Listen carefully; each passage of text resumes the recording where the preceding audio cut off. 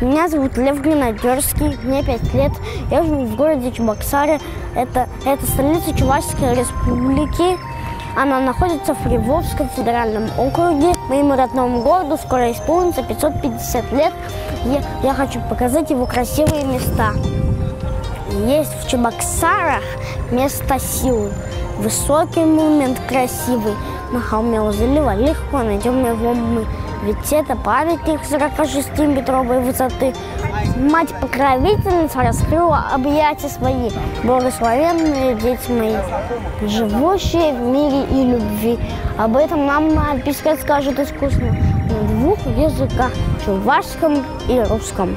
Через залив момент у нас мост приведет, его в Чебоксарах каждый найдет. Все пешеходы в волшебный туннель попадают, ведь тысячи ламп путь озаряют.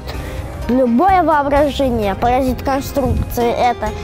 Гирлянды ее украшает длиной 9 километров.